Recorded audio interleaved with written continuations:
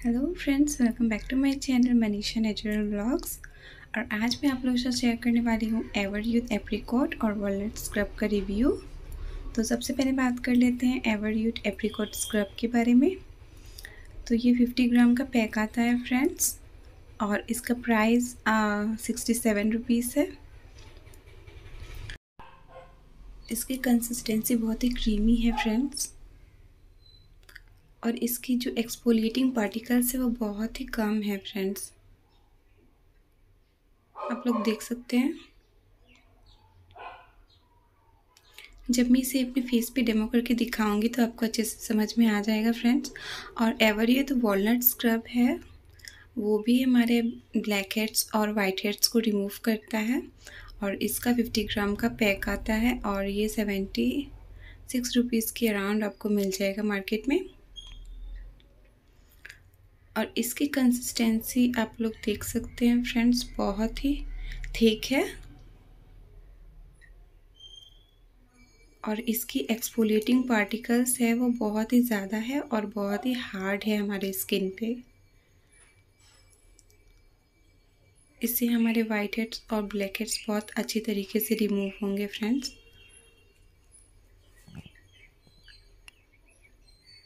तो चलिए फ्रेंड्स ये दोनों स्क्रब को अपने फेस पे मैं डेमो करके आपको दिखाती हूँ। तो स्क्रब करने से पहले हमें अपने फेस को बहुत ही अच्छे तरीके से लुक फॉर्म वाटर से क्लीन कर लेना है फ्रेंड्स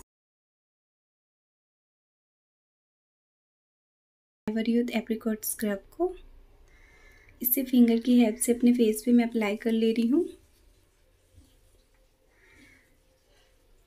और इसी सर्कुलर मोशन पे, अपने फेस पे हमें जेंटली मसाज करना है फ्रेंड्स एप्रिकॉट स्क्रब जो है, वो बहुत ही क्रीमी फील हो रहा है फ्रेंड्स उसके जो एक्सपोलिएटिंग पार्टिकल्स वो बहुत ही कम हैं और हमारे स्किन पे बहुत ही क्रीमी फील हो रहा है.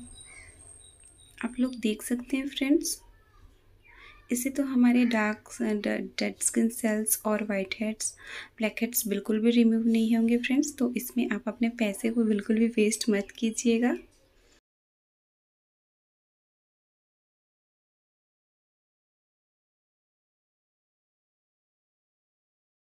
इसे मैं एक वेट टॉवल से क्लीन कर ले रही हूँ।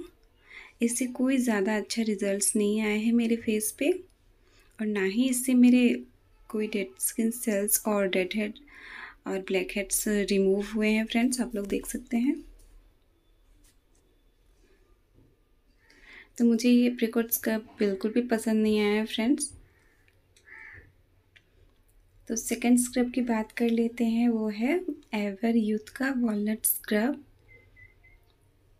और इसे भी अपने फेस पे मैं अच्छे से अप्लाई कर ले रही हूँ।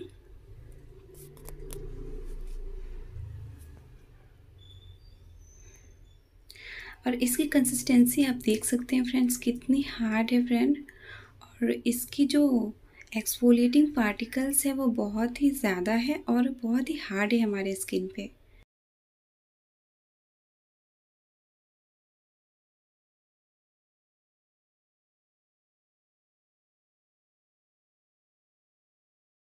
इसे अच्छे से हमें अपने नोज़ पे और लिप्स पे अप्लाई करना है।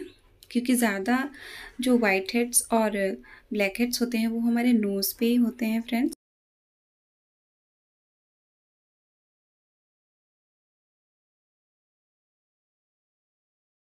इसे हार्डली नहीं, बहुत ही जेंटली यूज़ करना है।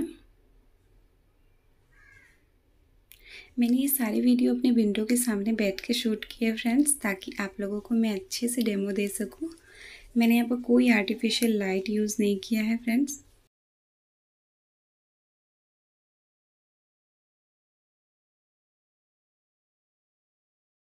इसे एक वेट टॉवल से क्लीन कर ले रही हूँ। आप लोग देख सकते हैं फ्रेंड्स जो वॉलनट स्क्रब है, उससे मेरे फेस पे कितना अच्छा रिजल्ट्स आया है। इससे मेरे फेस पे एक ग्लो आया है और जो मेरे ब्लैक हेड्स हैं, वो बहुत ही अच्छे तरीके से रिमूव हुए हैं फ्रेंड्स अगर आप कोई स्क्रब पे इन्वेस्ट करना चाहते हैं फ्रेंड्स तो आप walnut Everyuth walnut scrub को ले सकते हैं फ्रेंड्स ये बहुत ही अच्छा स्क्रब है.